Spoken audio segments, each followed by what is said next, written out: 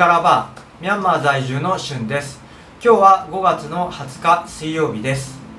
今日現在のミャンマーでのコロナウイルスの感染者の数は193名。亡くなられた方が6名のままで回復された方が104名となっています。5月の15日の政府からの発表なんですが5月15日を期限としていた各種措置について緩和された措置を除いて5月の31日まで延長ということになりました。この中には国際線の着陸禁止や飲食店内での飲食の禁止が含まれます。一方で自宅待機措置の対象となってない地域では飲食店内での飲食が可能となりました。その際には保健スポーツ省の指示に従って客同士の間隔を空けることが必要となってます。こちらの方違反した場合には罰金を課すということです。ただしナイトクラブやアルコールを扱うお店については引き続き自粛ということになってます。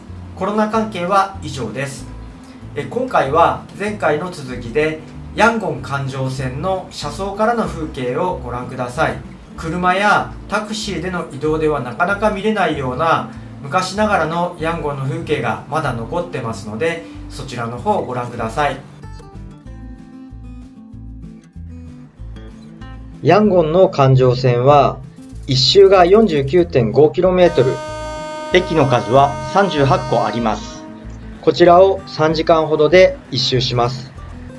現在の列車の速度は20キロ以下でとってもゆっくり走ってます。ですから景色を眺めながら乗ってるとのんびりとした気分を味わえます。この撮影をしたのは3月の初めで、この電車はエアコンなしの車両だったために窓が開けっぱなしで風もとっても気持ちよかったです。雨季になると窓が閉められてしまうのかもしれませんけども、ちょっとその辺は乗ったことがないので分かりません。はい、電車の方スタートしました。ちなみにこの駅はミャンマー最大の駅、ヤンゴン中央駅です。ヤンゴン市内の南側、ダウンタウンの中央にあります。前回の動画で駅舎の方は詳しく紹介しましたので、ご興味ある方はぜひそちらの方をご覧ください。ヤンゴン環状線は去年の2019年から日本の円借款によって改修工事が進んでます。それもあって、以前はかなりひどい乗り心地だったらしいんですけども、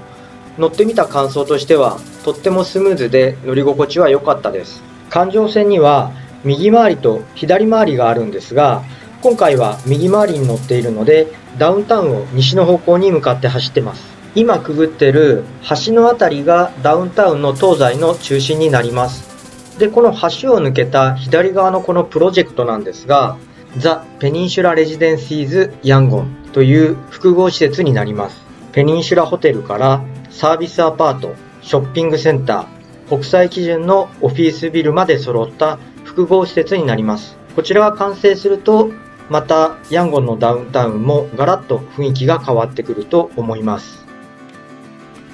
最初の駅に到着しました。こちらはボージョアンサンマーケットの裏といった位置になります。ボージョアンサンマーケットは観光地で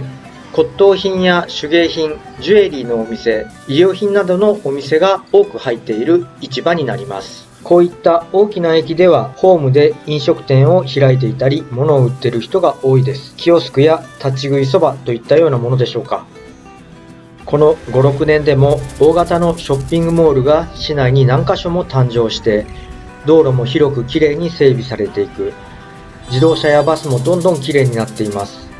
ミャンマーの中でも一番変化の早いのがヤンゴンではないかと思います。今、列車はダウンタウンを西側に向かって走っているのですが、普段車で走っている時に見かけるような大きな建物がないので、私でもどの辺を走っているのかちょっとわからない感じです。線路からは高い建物も見えませんし、線路脇は雑草が生えて荒れてますし、これが建物が密集したダウンタウンのそばとはあまり感じられません。途中走っていると改修工事をしている現場がありました。改修後には列車のスピードも2倍近くになり環状線の1周の所要時間も半分程度になるらしいです。現在はダウンタウンやヤンゴンの中心地に住むミャンマー人の人たちは車やバスを利用して電車はあまり利用しないと聞いたこともあります。ダウンタウンやヤンゴンの中心地は慢性的な渋滞で移動に非常に時間がかかるため早く改修工事が終わって列車がきれいになれば利用する人も増え渋滞が解消されるかもしれません。こちらの駅ではホームで子供たちがボール遊びをしてました。周辺には飲食店も多く外国人も多く住んでいるエリアです。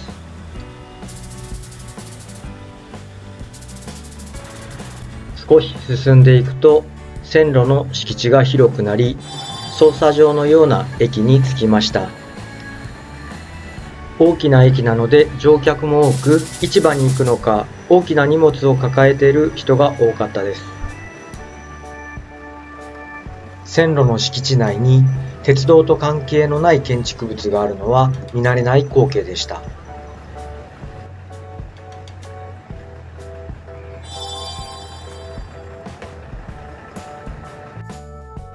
この辺りは外国人居住者の少ないエリアです。パッと見線路の敷地と民家の敷地が曖昧で線路の敷地内に家が建っているようにも見えます。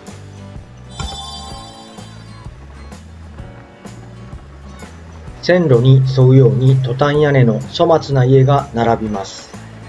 隣の乗客が卵を買って食べていたんですが殻は外に投げ捨てました。外を見るとこの辺はゴミの集積所のようになってました。この辺りはインセインというエリアで右側の方向にインセイン刑務所とヤンゴン空港があるエリアになります。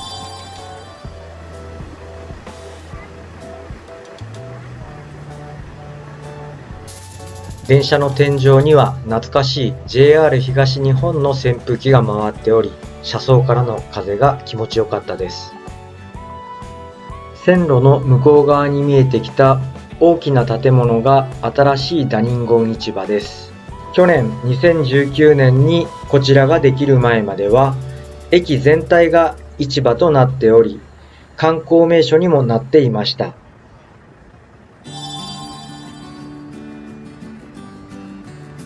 市場の関係者か市場で買い物をしたお客さんか分かりませんが大きな荷物を持っている人が多かったです。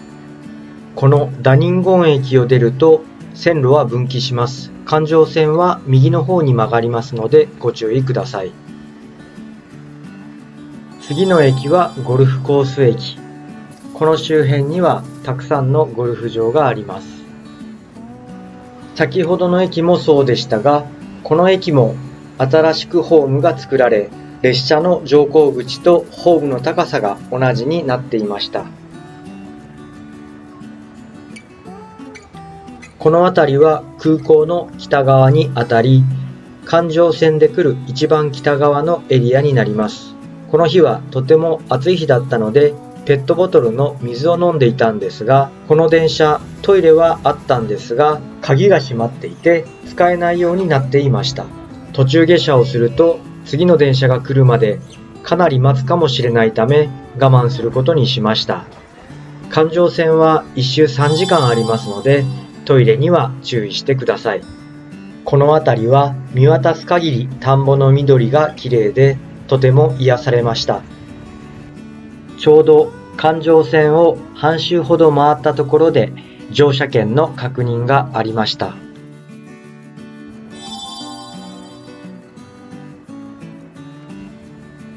車内販売は水や食べ物だけでなく生活雑貨なども売っていて驚きました。車内に日本語のプレートが残っているのもいい感じです。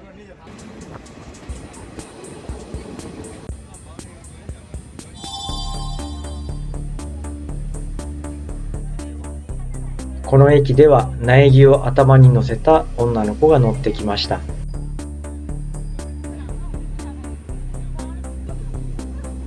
だいぶ南の方に降りてきました。右側の方向がヤンゴン空港のある方向です。家の数もだんだん増えてきました。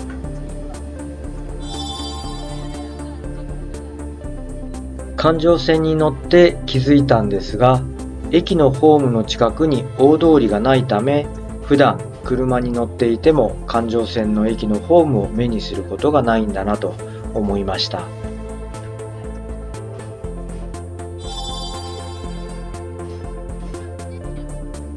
ヤンゴン環状線の乗降口は走ってる最中も常に開きっぱなしです。今のように列車の速度が20キロ以下であれば問題ないと思うんですが改修工事が終わって速度が2倍になった時にはこういった開放的な電車はなくなってしまうんだと思います。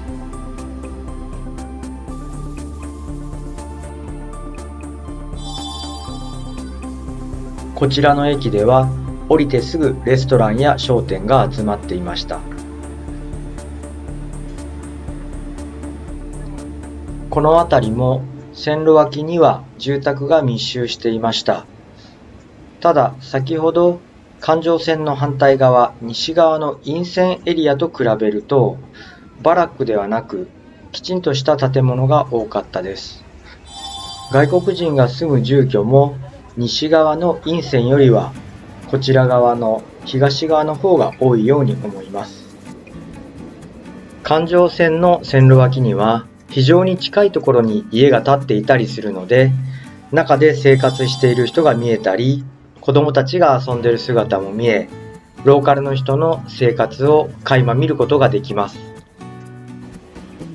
電車の速度が遅いこともあり線路内を普通に歩いていたり洗濯物を干したり遊んでいる子供たちの姿も普通に見かけます。通常の観光とは違う一味違った面白さがあります。この辺りの線路脇に見えている緑は空心菜畑です。この辺のエリアからは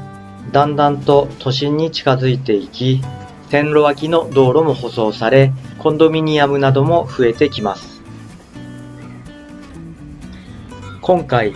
ヤンゴン環状線を初めて一周してみたのですがとにかくゆっくり車窓からの風景を楽しむことができました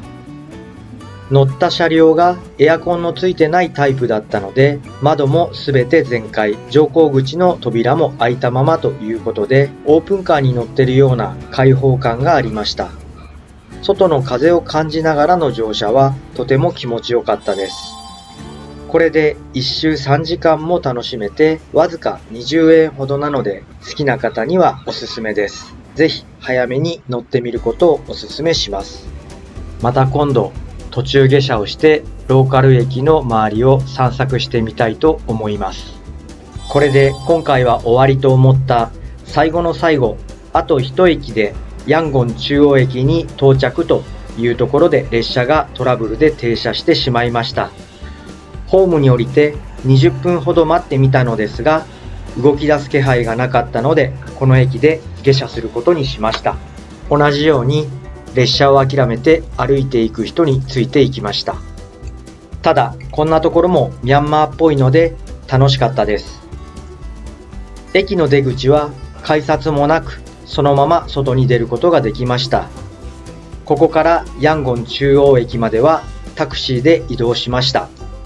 ちなみにタクシー代の方は2500チャット約140円でした。